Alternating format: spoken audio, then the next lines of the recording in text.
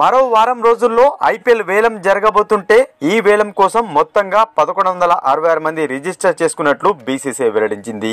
ఇందులో ఎనిమిది వందల ముప్పై మంది భారత ఆటగాళ్ళుంటే మూడు వందల ముప్పై ఆరు మంది ఓవర్సీస్ ప్లేయర్స్ అవుతున్నారు అయితే ఈసారి వేలంలో అన్సోల్డ్గా మిగిలిపోయే టాప్ ఫైవ్ ప్లేయర్స్ చూసినట్టయితే ముందుగా ఫస్ట్ ప్లేయర్ స్టీవ్ స్మిత్.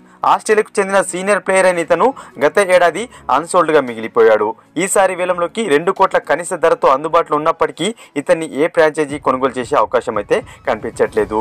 దీనికి కారణం అతను టీ ట్వంటీ ఫార్మాట్ తగ్గట్లయితే ఆడట్లేదు. ఈ కారణంగానే ఇతను ఈసారి ఎవరు కొనుగోలు చేయని ఆటగాళ్ళ జాబితాలో నిలిచే అవకాశం ఉంది. సెకండ్ ప్లేయర్ చూసినట్టయితే Kedar Jadhav.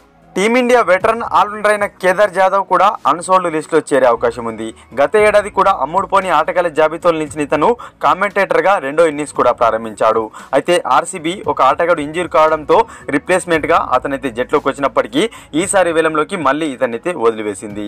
ఇతను కూడా అన్సోల్డ్ మిగిలిపోయే ఆటగాళ్ళ జాబితాలో ఉండే అవకాశాలు చాలా ఎక్కువగా కనిపిస్తున్నాయి.